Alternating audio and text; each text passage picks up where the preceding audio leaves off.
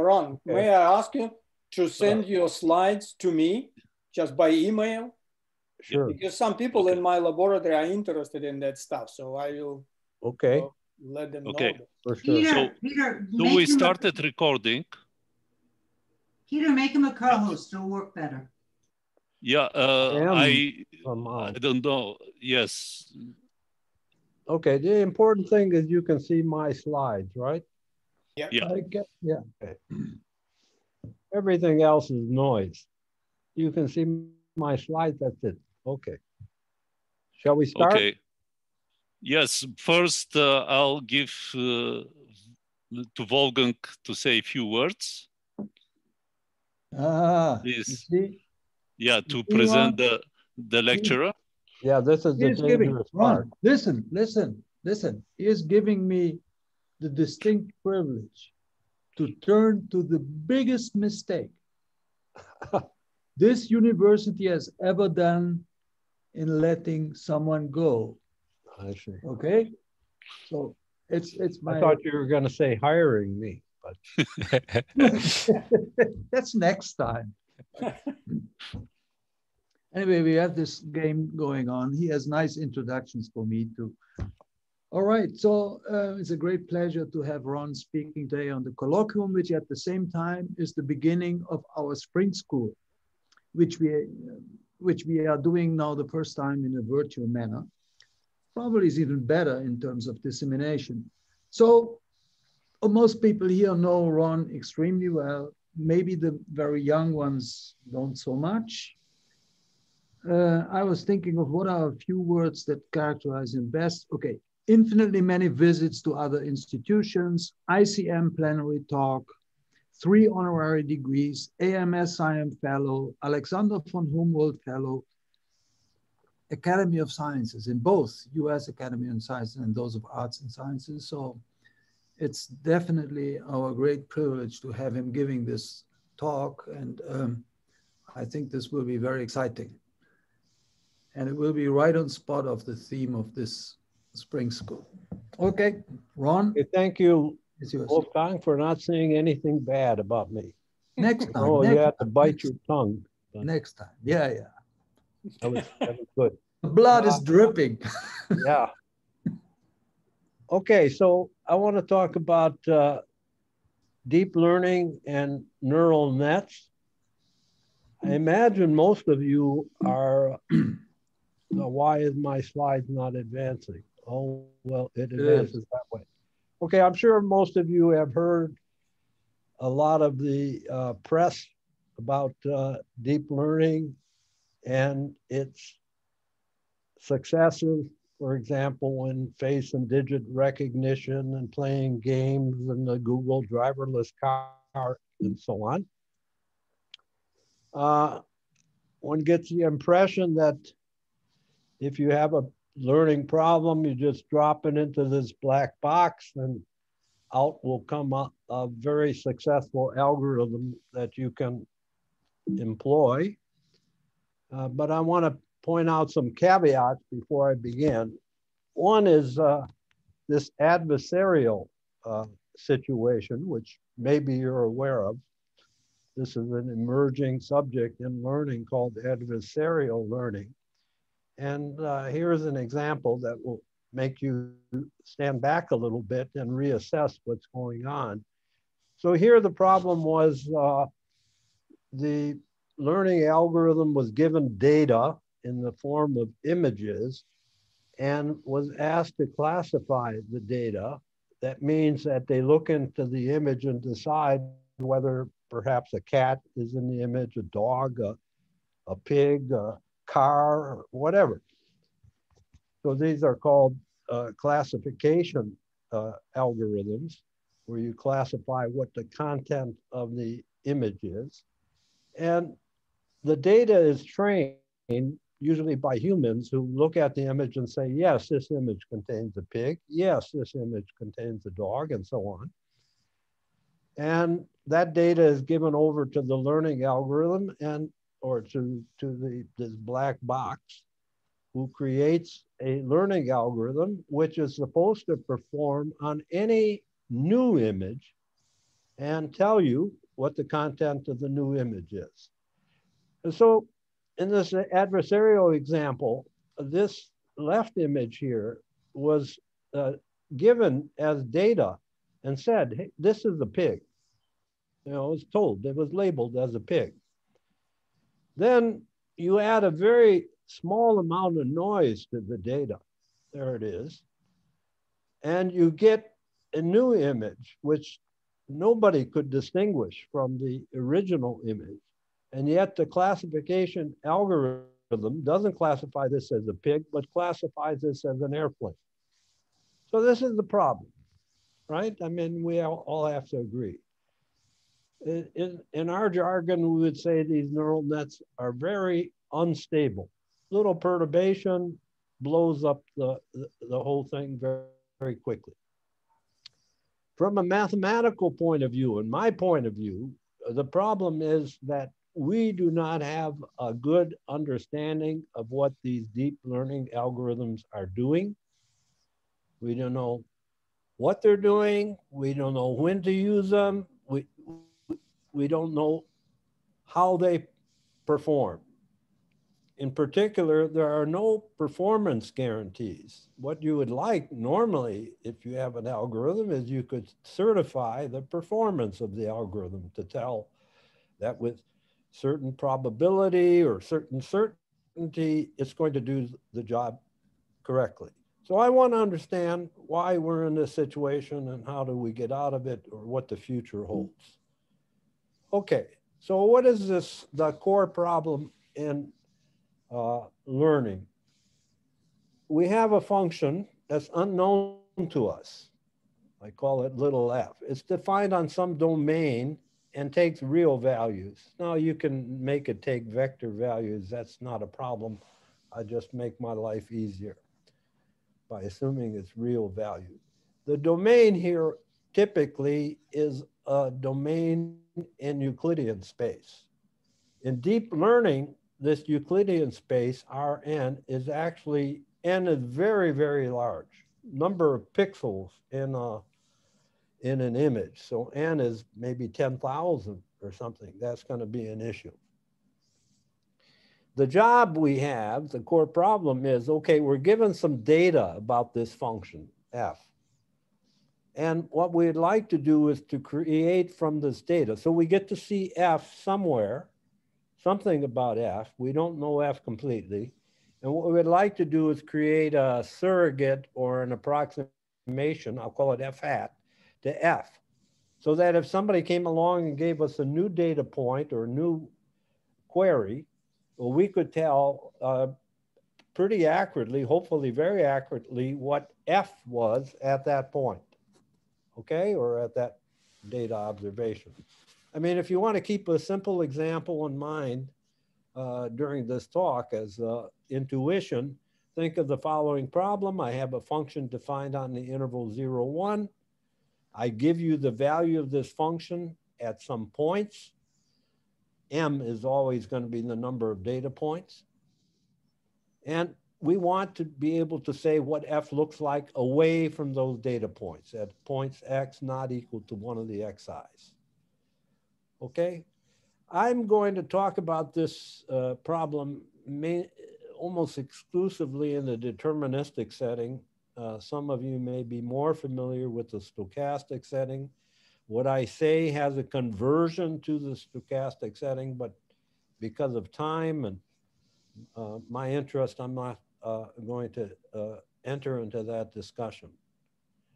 So uh, let's first see how a functional analyst would look at this or an analyst. The first thing, if somebody came into your office and gave you this, uh, say, said they had this uh, function f, uh, they didn't know what it was, but they had this data and they asked you to create an approximation to f, uh, what would you do? I mean, the first thing you would say, well, look, uh, from the information you gave me, I can't tell you anything because F could be anything off of the data, right? By the way, when I say something like right, you can chime in and say no or, or, or argue with me. All right, so you need some extra information about F if you, that, that will guide you how to proceed. And also if you want to certify that the, the, the approximation you come up with has some performance guarantees, you need to know something about F. We call that additional information, model class information. And so we summarize this by saying that F is in some set K, where K is a compact set typically, and we call this a model class. For example, we, you may say that, well, I know the function has one derivative. Okay, that would be model class information. The second thing you would say to him is, uh, look, or her, look, uh, tell me when I'm done creating this F hat, how are you going to measure success of my algorithm? How are you going to check and say, oh, yeah, you did a good job? No, you didn't do a good job. Well, that we need to know. And usually we do this by measuring the error between the true F and what we created from the data, this F hat, in some norm, right? That's the error. And that's how we measure the quality of, of our uh, approximation F hat. In this talk, I'm going to take the norm to be a Hilbert space norm only because, excuse me, uh, it, the geometry is simpler and I can explain everything a lot easier in the Hilbert space setting than the general Banach space setting. But I tell you in advance that whatever I do has some analog in, in a Banach space setting you can find in a paper by these authors. Okay, so what is the information we're given? I'm, I'm in this Hilbert space setting and I, I, I want to say the information is given to me as linear functionals applied to f. Maybe the integral of f times some uh, uh, uh function or uh, could be point values, but then I would need that the Hilbert space is a reproducing kernel Hilbert space. But to, to, the information I'm going to say that I got I have about F are M evaluations of F through linear functionals. Okay? So what I really know about F, the totality of information I know about F is what? I know that it's in this model class K, and I know its data in terms of these linear functionals applied to F. All right? And the set of all functions KW that lie in K and satisfy the data, this is what I know about F. No more, no less, right? F could be any function in the set KW. Any questions so far? You understand the, the setting? This is, this is our problem. Okay. The guys that know it say it's trivial. The guys that don't know it, I say, well, nah, I don't know. okay, we want to approximate f by some uh, f hat. Actually, I'm going to give a graphic here that will explain this slide. So the blue here set is really KW. Blue is KW. This is all, so I'm in a Hilbert space and this is some set in the Hilbert space. This is all functions I know in the Hilbert space to satisfy the data, this blue set. If I'm asked to approximate F, and all I know is F is in this blue region, the best I can do is to take the center of the smallest ball that contains K, and that's called the Chebyshev center of this set K, KW. And the radius of this ball would be the best error I could give for the approximation. So that's what this previous slide was saying that this problem, given this way, has a simple geometric explanation and solution as to the optimal performance you can do at recovering F from the data. This is called optimal recovery. Well, it sounds simple, so yeah, except that it's almost impossible to find this Chebyshev ball and find the center of this ball. It's a miracle if you can do it in a given setting. Not a miracle, but at, at least it's a difficult problem. But that's our goal. That's the best we could do. And our goal numerically would be to try to do as well or close to as well as finding the Chebyshev center. For example, if we could find a numerical algorithm that performed with an error that's just a constant times its radius, right? Let's say three times the radius, we would all be happy. We would go home and have a, a glass of cognac, or in Peter's case, uh, he would have uh, rakia, and, and we would be consider the problem to be done. Notice that if I found any guy here in, in uh, this blue region, any guy, I don't need to find a center, any other point in the region, that would already be satisfactory because the distance, the, the, the performance of using that guy as the approximation is within a factor two of being the best performance. And I would be happy. Okay? Everybody with me? hopefully. All right. So let's see, you know, I want to put this in, in a little bit more of a functional analytical uh, setting. So we're in a, this Hilbert space. So we know that these linear functionals, LJ, right? These, this is where we got our data from. You could think of them as point evaluation, but you know, in a Hilbert space, in L2, for example, you can't take point values uh, because only defined almost everywhere, et cetera. But we have these linear functionals.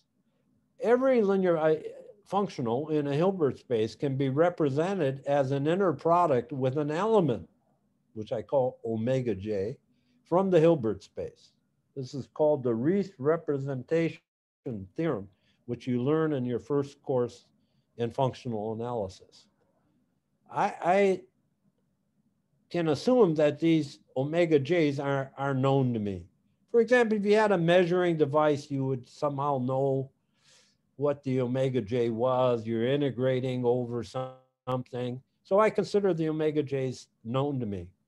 And I look at the space W, which is spanned by the omega j's. Remember, there are M measurements. And this space here is a subspace of the Hilbert space of dimension M. And what I really know about F is from the data is the projection of F onto this space W.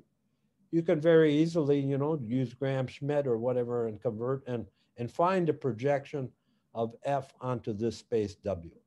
So in essence, this is what the information is telling me. The data is telling me what this this is. What we don't know is what does F look like in the direction orthogonal to W, right? In that direction, we don't know what F looks like. What we do know is that F is in K. That's our information. I mean, that's our model class, right? Assumption that F is in K. So that puts a constraint on how big or what PW perp F could be. And so what we really want to understand is how could we extract this component of F and how, you know, what are the possible components that you could get here given that F is in K and given that you have the given measurements. So every element in KW is of the form, you know, I let little w denote the projection of F onto the space capital W. And every element in KW is just little w plus something from the uh, W perp, which is the null space, right, of the measurements. That is, it can be written W plus eta. And if you measured eta through these LJs, you would get zero for the measurements. Okay, so this gives you, I hope, some geometrical feeling for what's going on here. I think I have a graphic. Here's a graphic to explain what's going on uh, if you didn't follow it. So the blue, the blue blob here is K, okay? That's my set K in this big Hilbert space. W is this subspace where, which contains the information I have about F. So what I know is that I have a guy in this blue space and I know his projection onto W. Its projection onto W is, is going to be a point on the pink uh, plane here, right? And all the guys that share the same information from K will mean that you can move in the perpendicular direction to W, which in this case, because I'm three-dimensional, is a line segment. In general, this is a hyperplane, but this, in this case, is the line segment. And so what I know about F is that it lies on this line segment where I entered uh, K at the bottom and I exited K at the top. So that's what I would know about F. This is the set KW, and I would know F was on this line segment. So that's the geometrical uh, description of the problem. Now let's talk about how, how one numerically could possibly handle this problem. Well, I think you're all very familiar with least squares. In fact, if somebody came into your office and gave you some data and asked you to uh, find an approximation, you probably would think of employing least squares in some sense, right? I mean, it's a thing we all learn in, in undergraduate school, uh, least squares. So what does least squares do? It says, well, I'm gonna pick some uh, set sigma, it's usually a linear space, of functions that I'm gonna use to try to fit the data with this. Maybe I'll use polynomials to fit the data. Maybe I'll use splines to fit the data. Maybe I'll use trigonometric polynomials to fit the data, but I, I take some set sigma and typically sigma is a linear space, a finite dimension, and the dimension is usually less than the number of data points, right? And then you look for an S in this linear space such that the measurements of S match those that you were given. So you try to minimize this difference. Now, if M were equal to N, or N were equal to M, you took the space so big that N was equal to M, then you would be able to fit this exactly, right? And that would give you your F hat. In general, so this is how we get our F hat, or I denoted by a star here, through least squares. Now, normally in the, in, in the world uh, we lived in uh, 10 years ago, we would uh, take n less than m. Why? Well, this has statistical reason that you usually thought that the, the, the measurements had noise in them and you didn't want to interpolate noise. And so you, you use n less than m, and then you can prove some theorems that even if you have noise, you're doing a reasonable job. Okay, in the world of deep learning, we'll see that they actually take n much, much bigger than m. So you have m is the number of data points, but, and they don't use a linear space, we'll get into that, but they have a nonlinear space of quote dimension n where n is much, much bigger than m. This is called over-parameterized learning. Now, the problem will be that there'll be many solutions to this problem in that case. You're over-parameterized, so you don't have a unique solution to this least squares problem. And that'll be uh, something we'll have to uh, work around. Oh, okay. Uh, one question you could ask is how should you choose sigma? Oh, that's a good question. By the way, it's, it's sort of, it's an open question. We don't know how the hell to choose sigma. Now, what typically people do is they say, well, let, let me look at my model class. I have this model class and I'll take sigma as a space that's good at approximating functions in the model class. For example, if, if my model class is functions with one derivative bounded, then I might say, well, I'll use polynomials because I know they approximate these functions well. So I'll use polynomials of degree n to do the approximation. Or so you use the model class to decide on this. But you really shouldn't just use the model class to make your decision because W, the measurements play an important role. it's it's sort of a meshing between the data information and the model class. And so really you should say, well, I re I know the model class, but I also know the data sites. I know these linear functionals. And I should combine the two to pick the best sigma. We don't know how to do this. Really. I mean, theoretically we can describe something, but practically, numerically, we don't know how to do this. But we, we proceed on. So here's one thing that always, uh, I mean, maybe it didn't bother me at the time, but now it bothers me, is that if you look in the usual treatments of least squares, you'll never see an error estimate for least squares. They'll tell you what to do and say, oh, here's least squares. But if you say, how does least squares perform? Unless you put yourself in a stochastic setting where you have random measurements, et cetera, et cetera, noise, and you know, embellish the problem, you'll see no direct estimate how least squares perform. But there is, uh, in fact, the best estimate for how least squares performs, and is given in this paper with uh, six people here, many of whom have uh, a, all but two have a South Carolina connection, right? Peter and Wolfgang and are there. I was there.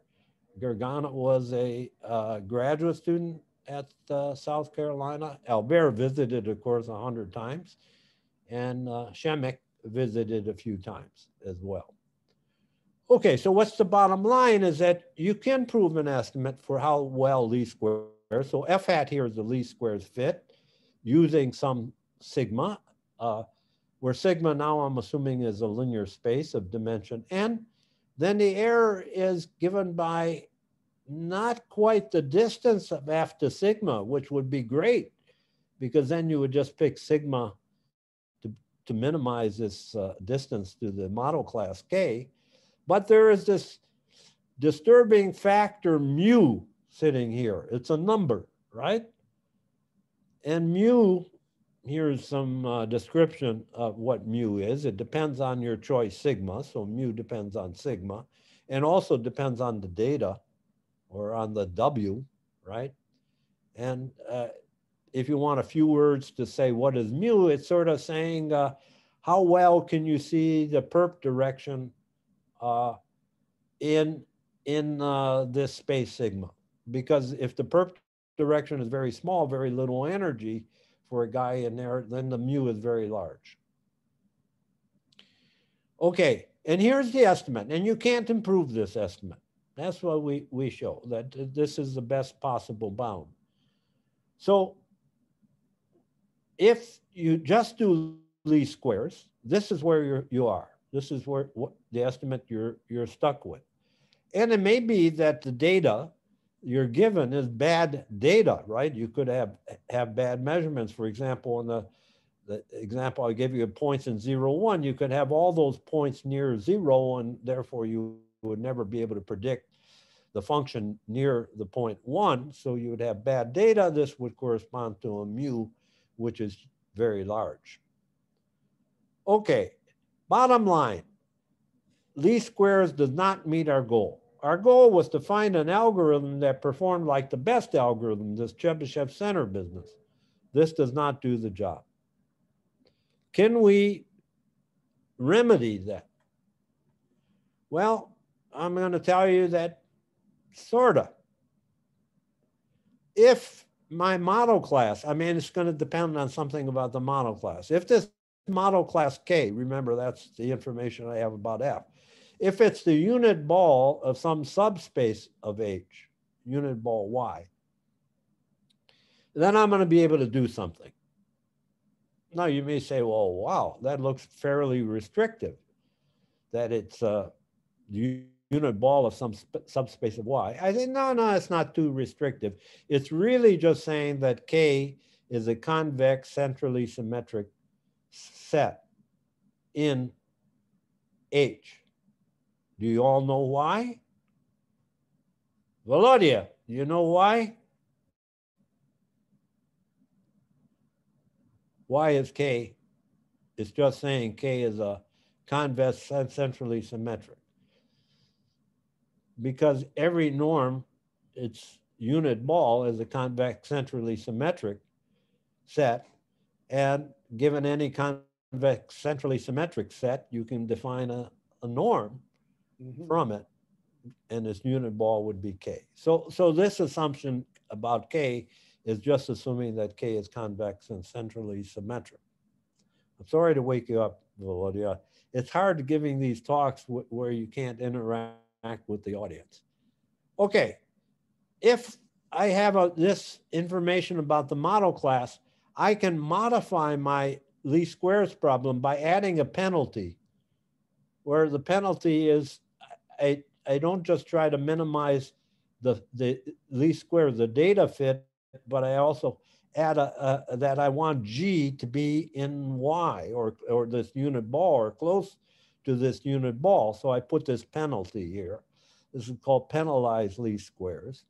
And if you choose, I'm thinking, can anybody tell me, uh, Peter, what's the time? 502? 50, uh, 503, yeah. Yeah. You okay. have a half an hour. Yeah, okay. So I want to be careful about the time because I, I want to be able to get to the good stuff, right? A lot of this stuff is so trivial, you're falling asleep. If you put this penalty term here, then, uh, and if you did this minimization, not over a sigma, but all of H, which of course is not numerically possible. We'll get to that. But if you did this, this would satisfy your goal. This you can prove if lambda is sufficiently small, this will satisfy the goal. It will give you an, uh, uh, an F hat that is close to the uh, optimal performance in this Chebyshev set. Now, the fact that we can't do this numerically because we can't take the minimization over all of H, but it still tells us a little glimpse of what to do. It says take a sigma, which is close, you know, is big enough that it mimics doing the minimization all, over all of H. This sort of pushes you in the direction of doing over parameterized, right? Says, yeah, maybe that's why they do over parameterized because, you know, solving this least squares problem with penalization uh, should should work in that case. And indeed, if you do choose a space sigma, and this can be linear or nonlinear. So far, I'm really talking about linear spaces sigma. And if I solve this problem, and if sigma is a big dimension, n is huge, yeah, real big, then I can show that it sort of meets the goal. Why, why do you say sort of? Well, unfortunately, there's a little caveat, but uh, if, if I solve this problem for such a sigma, here's the estimate I can prove. What I would really want here was R of KW, right? Remember R of KW was the radius of the model class KW. What I have instead is this KW prime where W prime is close to W. Now, Wolfgang, Peter, Albert all know the reason for this is modulus, right? But nevertheless, okay, you still can drive this typically to, to uh, uh, be close to the actual best estimate. Okay, so there's the bottom line of these observations is Ron, you over parameterization does help. Go ahead, Wolfgang, you had a question? You could, uh, you, you could well sell it. You could say these measurements are never, never correct. Right? Uh, yeah. And it, it, So that padded, that padded slice is in a way, uh, In not such a fact- thing. okay, so this will eat up a minute or- or two of time, but uh, look at you. You wonder why in in statistical estimation they incorporate noise. So they incorporate noise. I don't think their incorporation of noise is usually that realistic. They assume Gaussian noise or something like that. And they always assume rather big noise levels. That's an advantage to them because then they have a, a, a worse estimate that they have to prove. That the, the optimal estimate is not so good. And so they have an easier task of proving that estimate. We know this, Wolfgang and I, from the Bayes guys, Bayesian inference. Uh, so I try not to incorporate noise until the very end. I, I, like to see what's going on before I inject noise because if I inject noise, I, I've already made my problem a lot easier, in my opinion. Okay, anyway, the bottom line here is you should do over parameterization and you should use a penalty, penalty term. This is what the first slides are telling you. Okay, now I want to go to what's done in, in deep learning. And in deep learning, they use for sigma. Remember the sigma. They don't use a linear space. They use a space of outputs of a neural network. I don't know how familiar the audience is with neural networks and what kind of functions are generated by a neural network. So I have to put in a few slides to try to give you some feeling for this, just in case you've never seen a neural network before and you're completely lost. That's what the next few slides are. They're trying to explain what neural networks are, what they look like, what are their properties. And uh, I want to do this in as palatable form as possible. So neural network is going to produce given certain param given parameters. So it's a nonlinear family. It's a, a nonlinear manifold. You give it some parameters and it produces a function which depends on those parameters.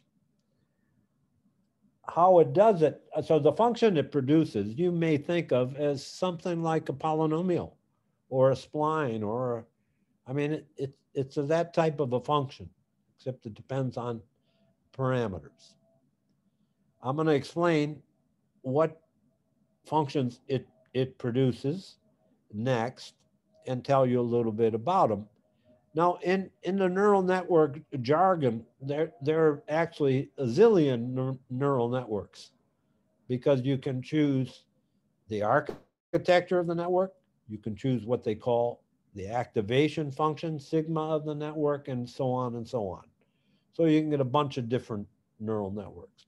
I'm going to choose a, an activation function, which is called ReLU, rectifiable linear unit. And it's just a, given a number y, it's just a positive part of y. I mean, if y is positive, it's just y. If y is negative, it's zero, right? So this is ReLU. I'm going to use this activation. You say, oh, you want some other? Fine. Use your other activation. We can look at it also. In reality, this is the most used uh, activation function in, in applications. Now I want to tell you what the output of a neural network looks like. So here's, given, uh, given that you want to create a function, in this case, it's the function of two variables. So this X and Y here, they would be the input. You put it through this neural network, you get the value of this function at these two, this pair of this XY input, right? So the neural net is de described by a graph. and I'm going to tell you how, how, how it proceeds. You input your vector xy, it's a vector in R2. You apply a matrix to this vector. You add a, what we call a bias, which is a, a, another vector. And then you apply this ReLU. So basically, you're doing an affine transformation. If you just did affine transformations, you would get sort of nowhere because you keep applying affine transformation to affine transformation, you just get an affine transformation. So this ReLU part, this nonlinear activation is utterly important because it's it's it, it's doing something. But anyway, this is how you proceed. You input, you then apply this matrix to the input, add the bias, apply ReLU. That gives you the new vector at this first layer. Then you repeat this. Use this as the input, apply a matrix different than the first matrix. Each level, at each layer, the matrix is new and different. And you proceed on in this way. And then finally, from these, these are called neurons, you take a linear combination and that's your output. So that's how you create these functions. Your parameters are the entries in this matrix. You can choose them. It's wonderful. It's a free country. You can choose whatever you want for these parameters. The bias vectors, you can choose them. Okay? What you, what you can't choose in this is this ReLU activation that's fixed. Okay, you do this and you get a whole bunch of functions. we measure the complexity by how many parameters did you use? How, you know, how many entries in the matrices and that? That will be our N. That corresponds to like uh, dimension in the case of linear spaces. So this, as you vary the parameters, maybe I have this said somewhere. Yeah. Whoops. I thought I had it somewhere written. Oh, here it is, alpha. You see the alpha down here?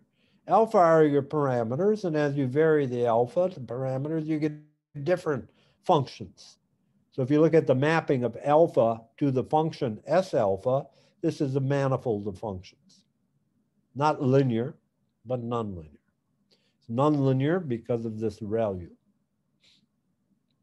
Okay. Well, that may help a little bit, but here's a little bit more information. I'll tell you what these functions look like. So you, you wonder, well, what are these functions, S alpha? You, you prescribe the parameters, you get a function. What are they? Well, here's what I can tell you. Some things I can tell you. That if you're looking at ReLU activation, every one of these functions that you create is a continuous piecewise linear function on some partition of Rn. What is Rn? That was your domain. You know, your functions are living on Rn. In my graphical example with capital N was two, can be any. In the applications of deep learning, capital N is usually huge. I told you, it's 10,000 or something, right? The number of pixels in images. Okay, so this is a continuous piecewise linear function on a partition into convex polyhedral. Holy cow. The number of cells in the partition can be huge. It's whatever the width is. Even if you say, okay, I'll take width two, the number of cells can be as large as W to the N, and remember could be 10,000. L, this is the number of layers in your network. You see already this is humongous, right? The number of cells is humongous. So you may say, wow, that's great because I only use, let's say, 20 parameters, n, 20 parameters, and yet I get this huge number of cells and this very large partition and the cells are anisotropic. They can be long and thin. They don't have to be uh, regular in any sense. So you might think, I have a really powerful approximation tool, and this may be why these neural networks are so great. But there are a lot of uh, important things to say that minimize this effect. The first, the, the most important is if you look at the partition that you get, you put in parameters, you get a partition. And you look at the piecewise linear function on the partition. You are not allowed to choose the pieces in this piecewise linear function. They're determined by the parameters. So it's not the job, it's not like we usually do in finite element methods or something where we first choose the partition and then we choose the piecewise linear subordinate to that partition. No, you're not allowed to do that. They're done in tandem. And you don't get all the CPL WL functions, piecewise linear function, subordinate to the given partition. Far from it, you get very few because there's linear dependencies in the piece, the linear pieces across the different cells. Okay. uh, let me just do one hidden layer. Suppose you just add one hidden layer. What are what are these? What what are the outputs of these neural networks? So n is two dimensions. If I did larger dimensions, same picture holds, I just can't do it, right? I'm not so clever as to give you a seven dimensional picture. But in two dimensions, what you're doing is you're allowed to put down any little n hyperplane. Little n is the number of uh, parameters. You can put down little n hyperplanes, which in two dimension are just lines. Put down these lines, you get a partition into cells, right? Here are these cells. This is a typical, we call this a hyperplane arrangement. So a cell would be like this dark gray one, or it could be this uh, dotted uh, cell. Here you see that they're anisotropic. You see that they're uh, also convex, polyhedra. This is what you get. If you look at one hidden layer, these are the kind of partitions you get. And as I said before, you get linear functions on each cell and the totality is continuous, but you don't get all linear functions, all piecewise linear functions. There's strong dependence that once you prescribe the partition, you're very limited as to the piecewise linear functions you get. Okay, so these, this is that. Uh, let me see. Okay, one, what happens when you go to deeper networks? The important property is composition. How am I doing time-wise? 519? Yes, 519. Okay, minutes. I'll need about 10 more minutes. Is that okay? Sure. Okay. so what happens when you go to deeper networks? The important fact is that the functions you output and when you have deeper networks are just compositions of these one hidden layer guys. You just functional composition.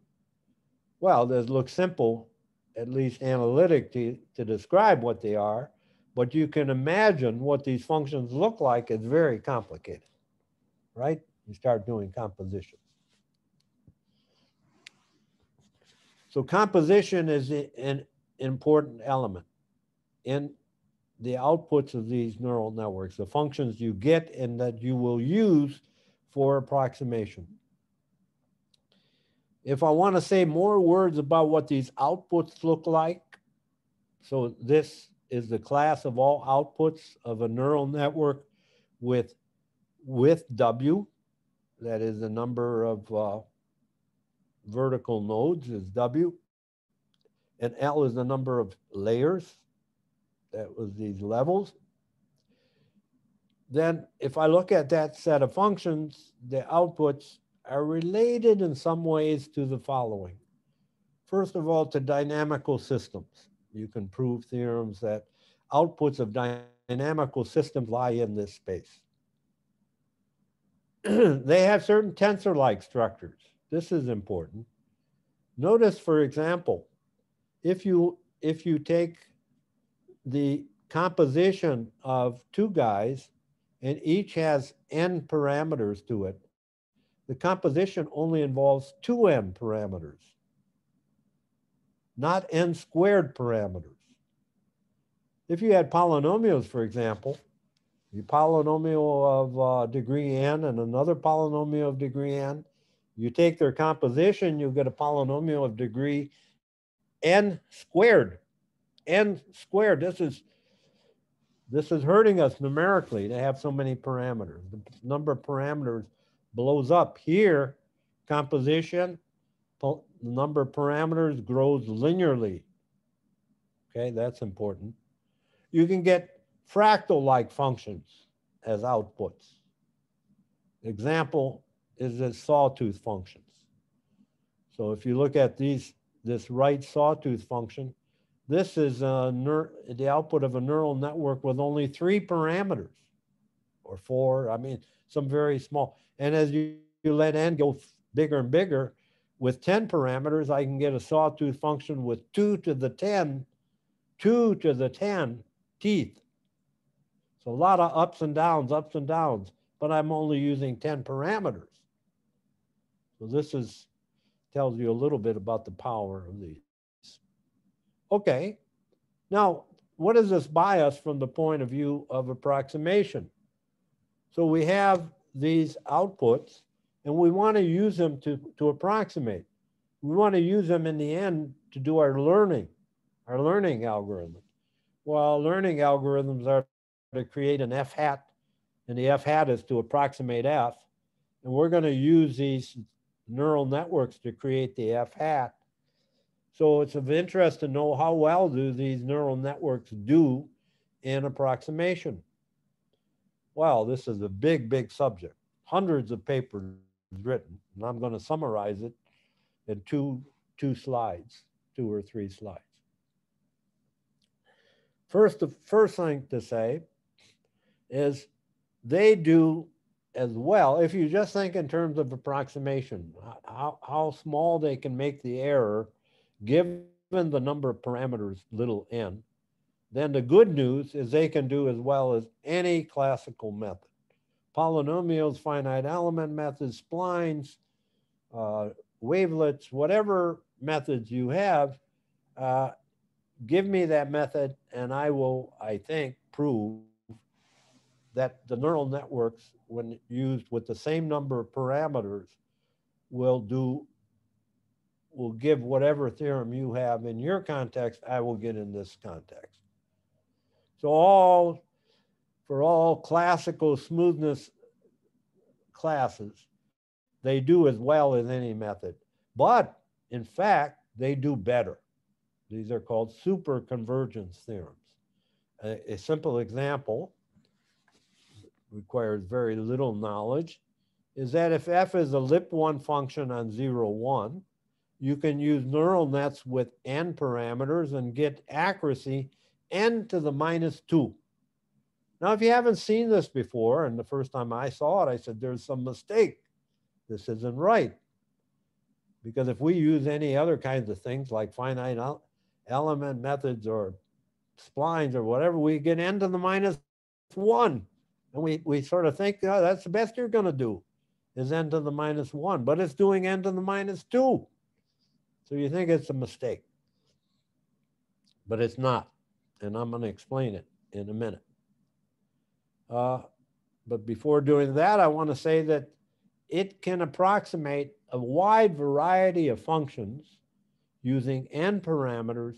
It can approximate the function to exponential accuracy e to the minus n for lots of functions.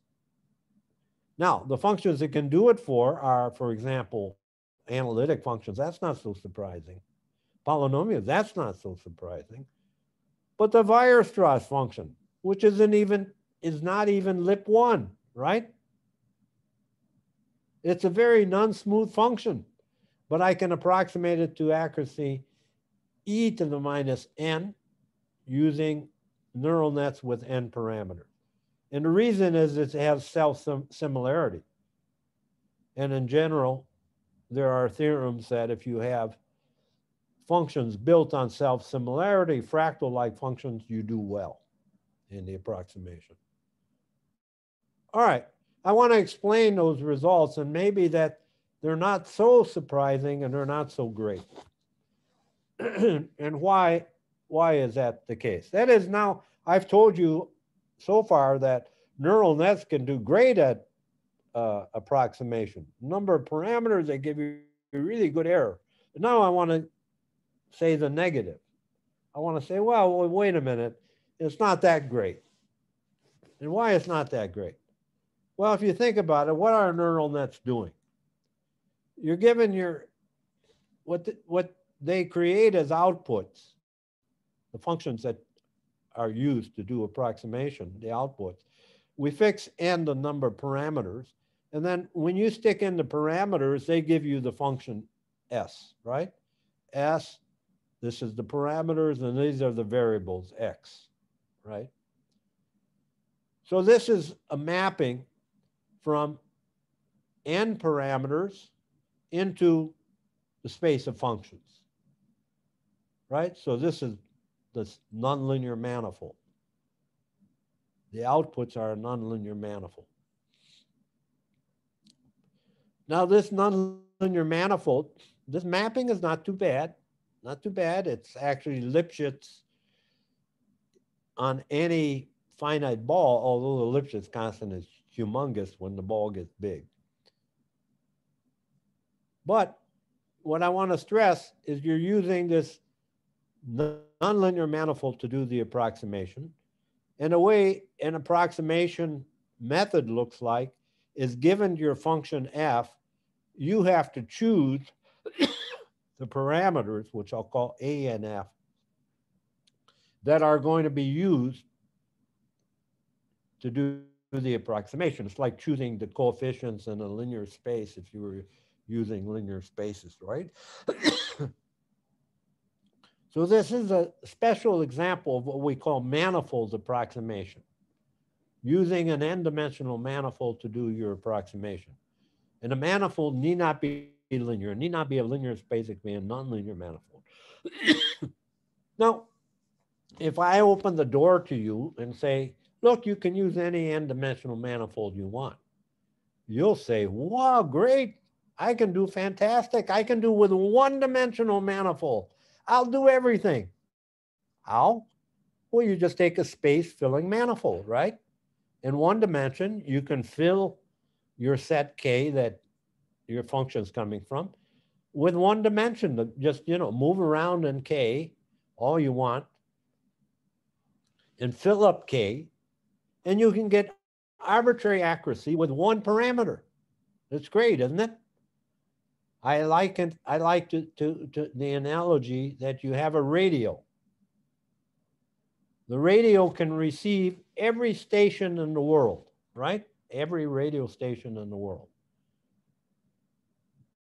This is like the radio is like my manifold. I can get any function I want basically by jiggling the parameters in this manifold.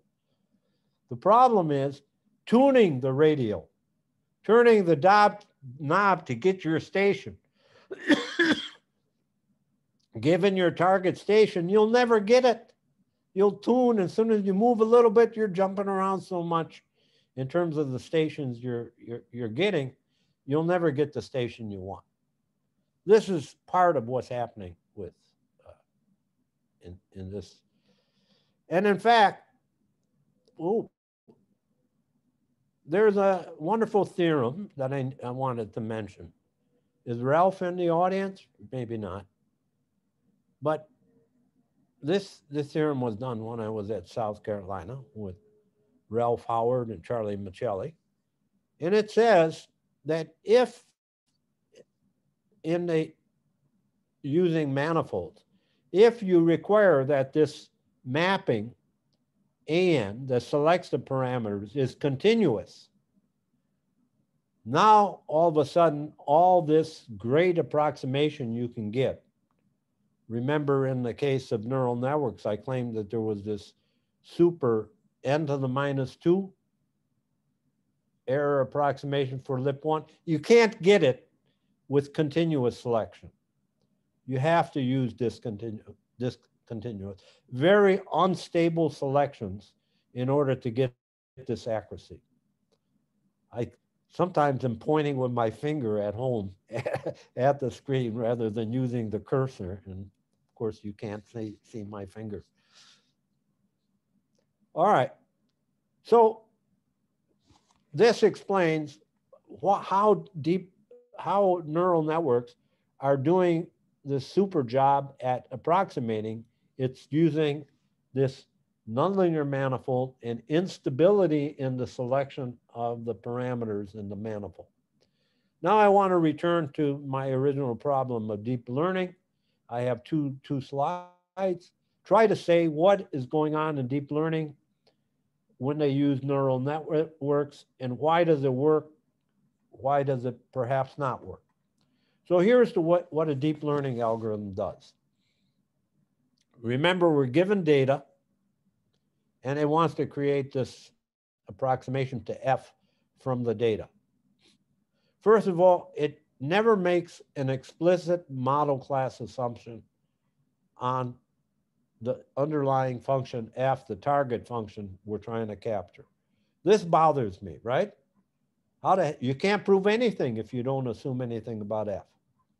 So what the hell are they doing? It uses very highly over-parameterized neural networks. In fact, everything is big. The ambient, I mean, the, the, the dimension, capital N, right? That is, you have functions of capital N variables and capital N is 10,000. The amount of data is huge. the number of parameters is bigger than the data. So it's also huge. and then it solves the least squares problem, or tries to. Of course, this is a very complicated problem to solve, where sigma is now the neural network that has been chosen. So sigma is the neural nets with n parameters, little n parameters. So it's trying to fit the data using these functions, depending on n parameters in this high dimensional space. But it doesn't use any penalty term. Okay? One thing that bothers me from the beginning, it never looks at it that what it really needs to do is to find a good strategy for what PW perp of F should be. It's not trying to find PW perp. Remember in my discussion, this was the unknown to us. What is F in the orthogonal direction off of the data? I don't see clearly stated what it's doing to find what F looks like off of the data. Whoops. So given that that's what it's doing, what could be the reason for success? So I'm going to throw out a few possibilities. Uh, I'm not super confident in any of these, but it's food for thought. Maybe why. And of course, what we need is mathematicians to look at this problem more carefully. But here are some possible reasons. First of all, how do they evaluate success? Because they say, oh, we're doing great. How do they evaluate success? They evaluate success on what they call test data. So what did they do? They took all the data you gave them, divided it into two sets, the training data and what they call the test data. They reserve the test data.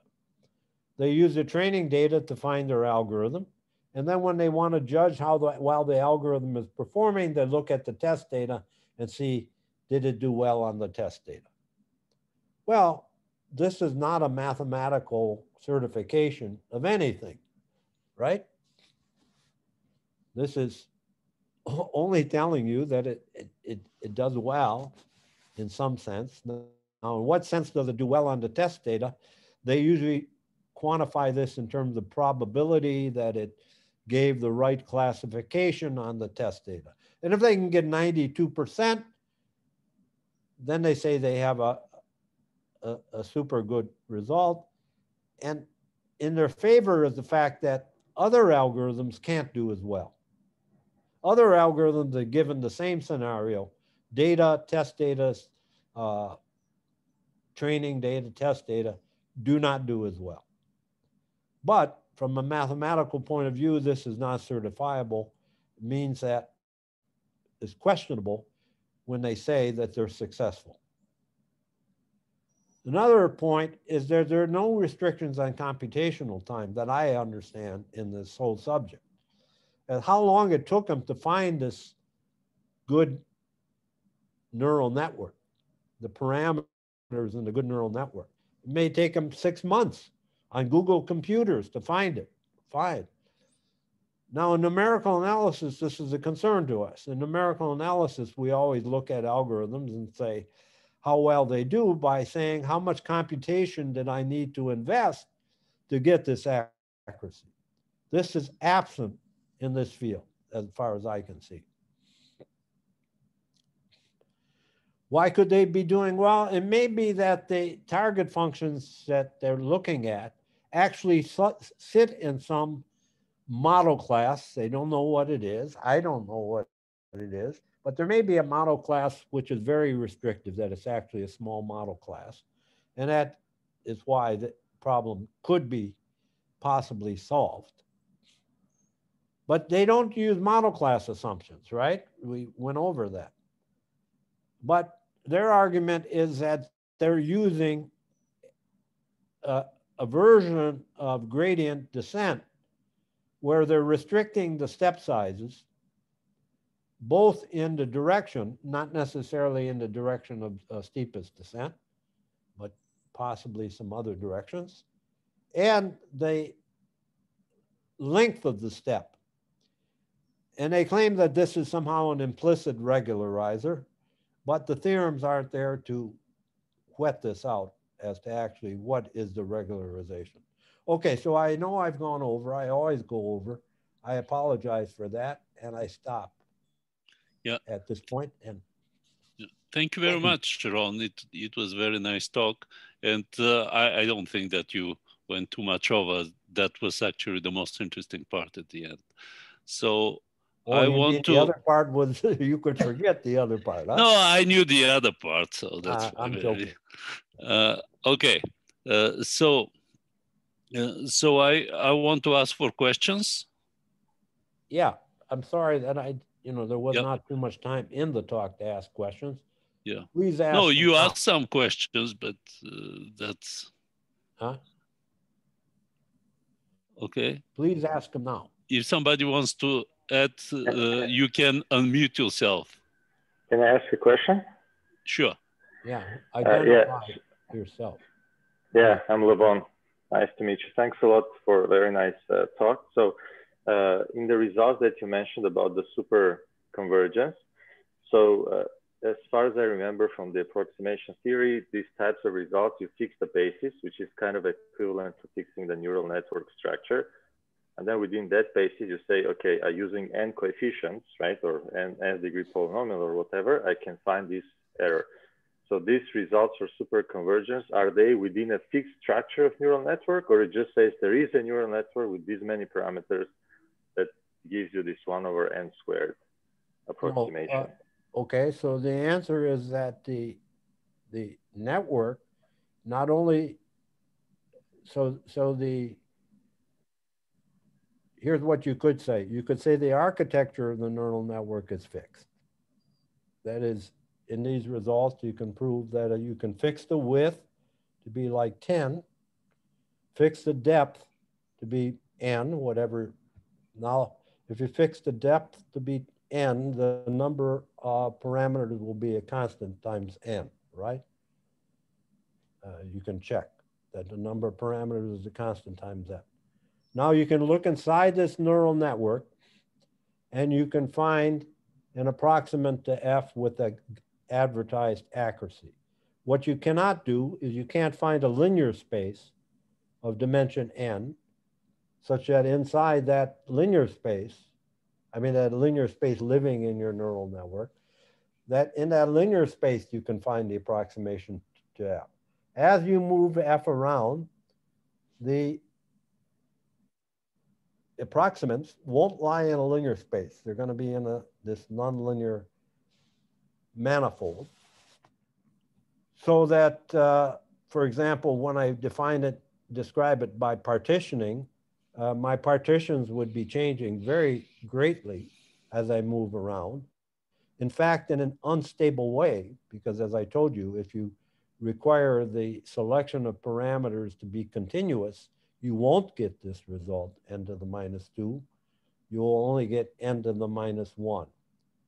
So it's not quite the same as what we call n-term approximation. I think this is what you were referring to, where you take some nice little uh, dictionary or, or basis, and to create the approximation, you take a sum of n terms from this uh, uh, basis.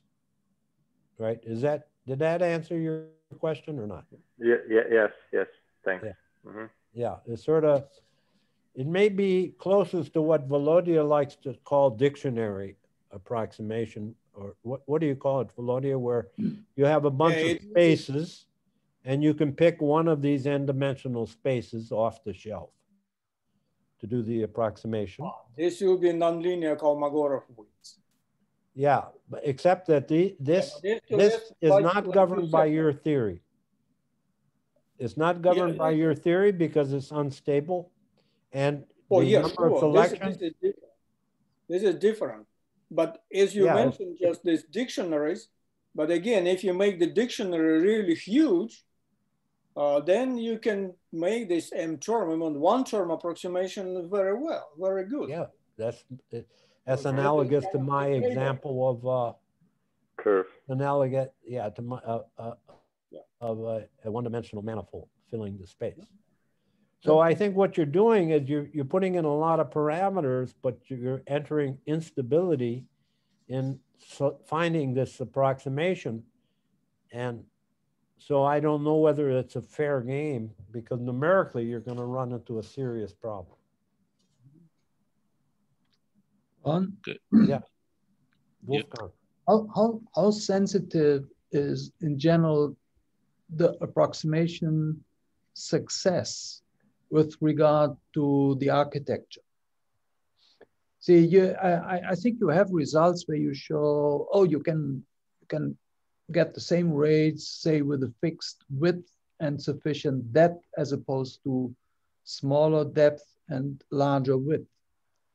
Because if, if, if this flexibility is not there, then you essentially have very little ch ch uh, chance to do, to prove anything rigorous because that universe of possible parameter distributions in such high dimensions that you end up with overparameterization so huge. I mean, the probability of hitting the right param uh, the uh, architecture would then be very small, unless there is a large flexibility that essentially you can whatever architecture you choose, you can you can essentially gain similar performance. Is is is that intuition correct? Or Yes.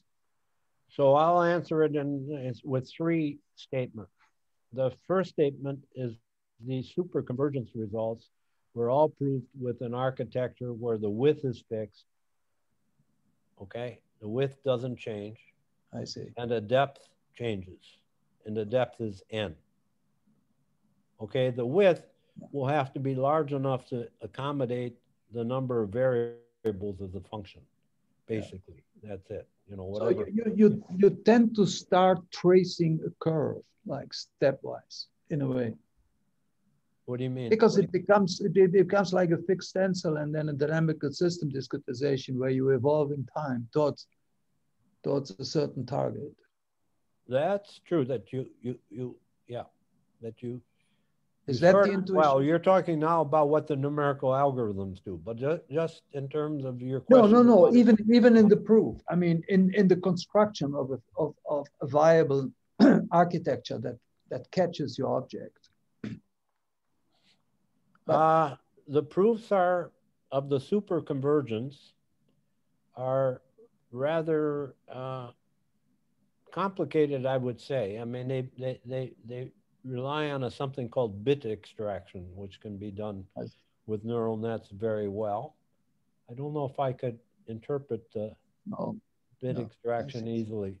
But what I, I did want to say a couple more words on what uh, you you were asking, and and and that is so on the one hand I can fix sort of the architecture right to a reasonable extent, although people do use other architectures by saying well I'll use sparse connections between different levels and trying to reduce the number of parameters, but in the theorems that I mentioned on superconvergence, you use full connectivity between the, uh, the different levels.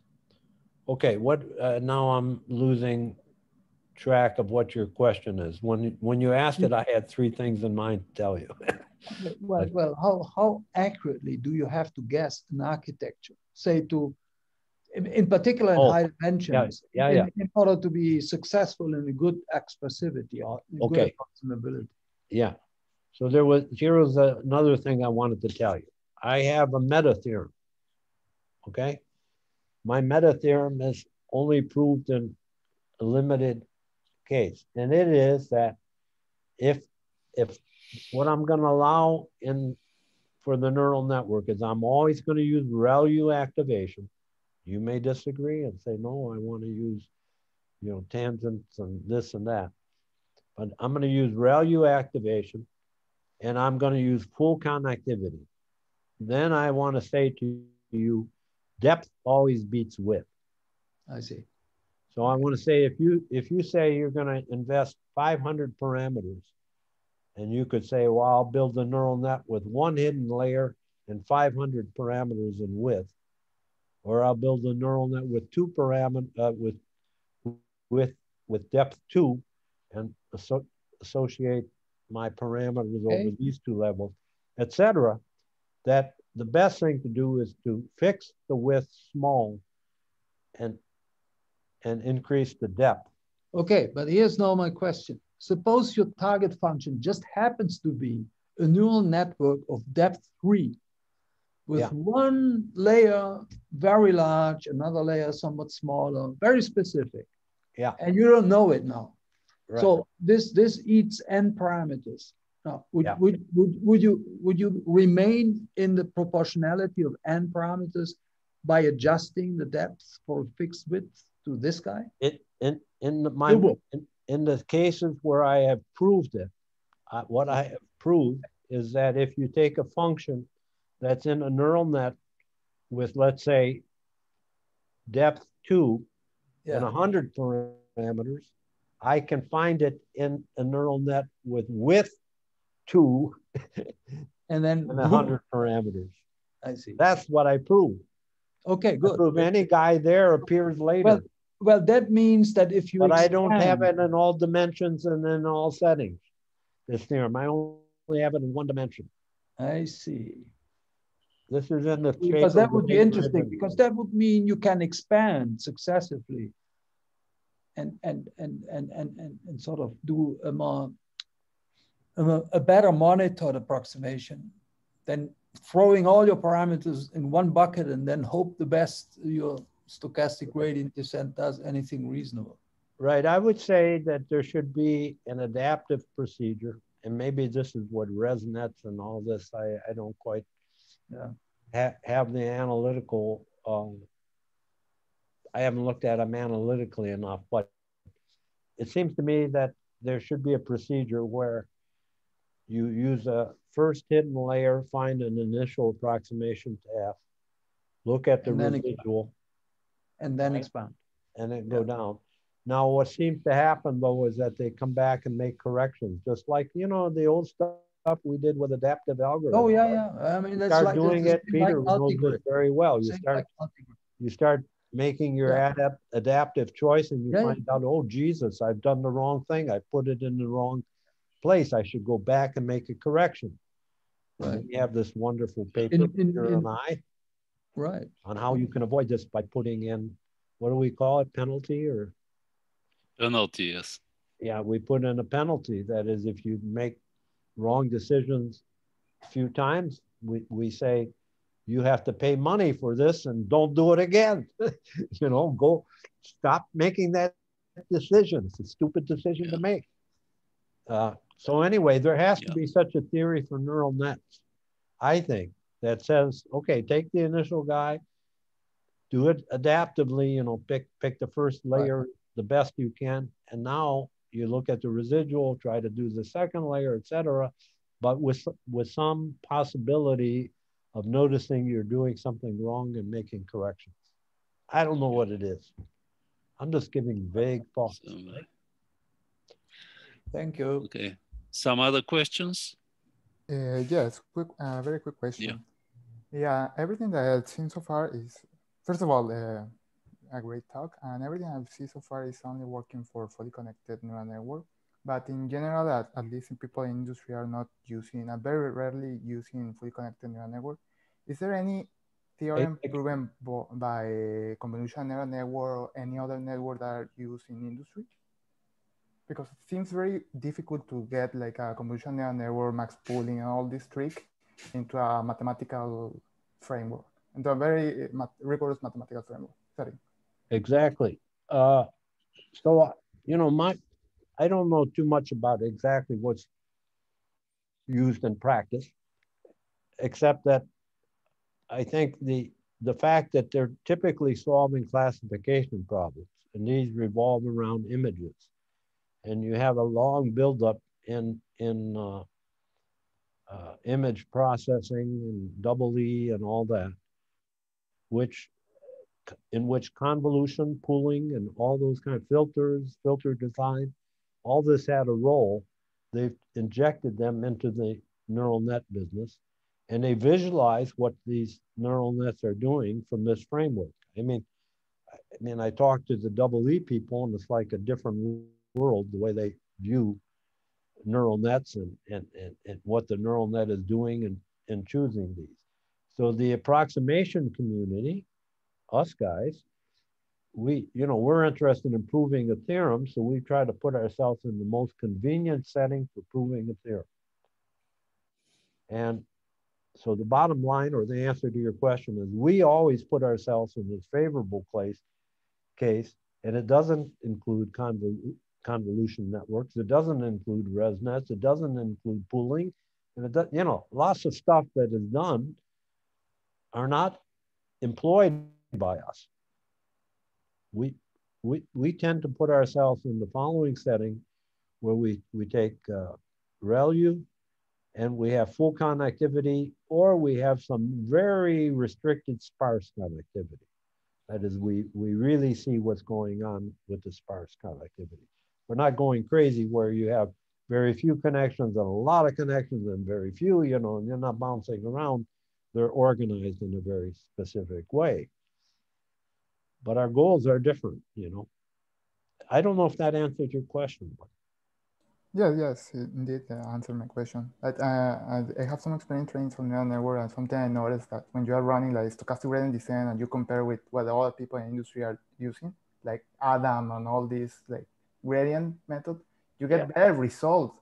But if you try to follow the curve of, of the Adam or all these other gradient method, it's very difficult to try to make it mathematically rigorous. That's that's a good point. I mean, I think that's what's bothering us. You know, they're using these deep learning algorithms, and you don't have a certifiable uh, performance.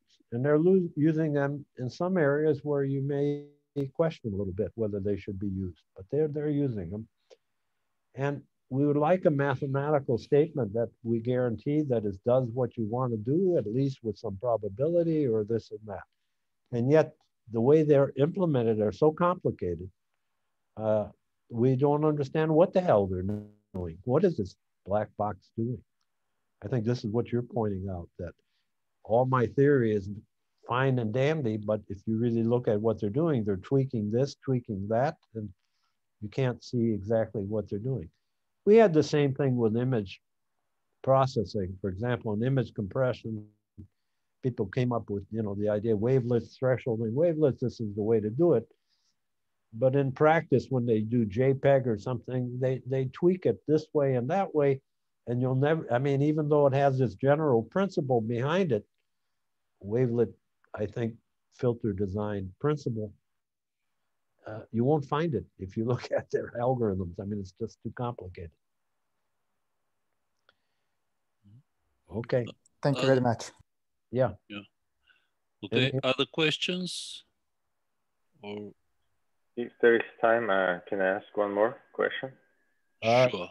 Last question. Okay. Peter, we have to pay, pay Peter twenty dollars because he's got too many questions. Oh, come on.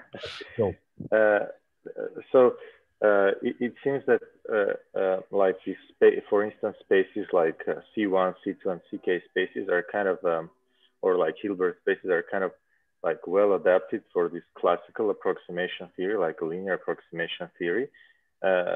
What are your thoughts about like, um, you know, what would be good spaces for, you know, approximation theory using like neural uh, networks? So are the usual spaces good or maybe, you know, one has to look at kind of like different things that have to take into account this composition structure or whatever? Well, it's a question of whether you're talking about, so there are two, two, two ways spaces enter in. One is measuring error. And what uh-huh. they usually use for measuring error is they use L2 norm or, uh, but in measuring error, the important thing will be the probability measure underlying. Why? Because you're in high dimensions. I mean, if you're uh-huh. you're in high dimensions, uh, you know, one one point has very little significance in high dimensions. If you if you're in 10,000 dimensions and you just want to have points spaced one half apart, right? Uh-huh. You'll need two to the 10,000 or more. I mean, on a, on a finite cube, you, you'll need a humongous number of points. You'll never, you'll never have such points. So what, what must be happening is that when you know the function at one point, it, it really severely limits the function in some way from, from just moving a little bit as you move away from that point. Because if if we were allowed to move, you would never be able to capture it because of the high dimension. So what is really happening? Also, when you sample, I mean, no matter how many samples you have, you're not going to have two to the 10,000 samples, right? So why should these few samples determine the function? Why? I mean, it's if you're in 10,000 dimensional space, why should, you know, 10 million samples in any way determine the function? No way. Unless you have the underlying probability measure is somehow very sparse or regular. I don't know what the exact condition is. Okay, so, so that's on the side of measuring error. Now you have the model class side. Now the model class side, I agree, I agree with you. The, the secret in the model class is what are reasonable model classes that employ composition. That is, when you compose functions, they have a, a, a, they don't depend on many parameters, let's say, but they can be very complicated. And we can't describe them in terms of ordinary notions of smoothness. We have to have new notions. What are these? I think this is something that uh-huh. Wolfgang is very interested in trying to understand. What, what are these composition of functions? What the hell do they look like? What does it really give you?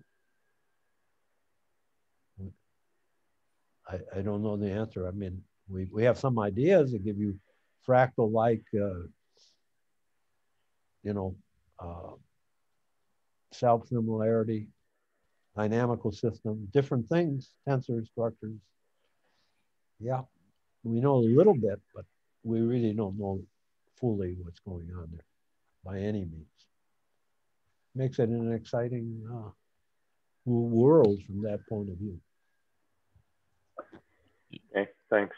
Okay, thank you very much. So Ron, thank you very much for wonderful lecture and very good uh, questions. So, all right, um, thank you. Yeah, thank you. you all. Bye. Bye. Bye. Bye. Bye.